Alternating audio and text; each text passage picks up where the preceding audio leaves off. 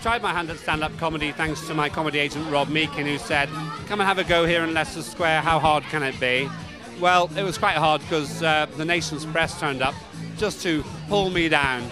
Actually, um, I'm glad to say that uh, apart from the real curmudgeons, it went okay. And I've done about, no, well, dozens of uh, gigs since then. And I would say a third of them have gone really well, a third have been average, and a third have been crash and burn. If you want to see the, the third that crashed and burned, the best example is on YouTube. It's my performance in Glastonbury in the left field tent. That day taught me humility.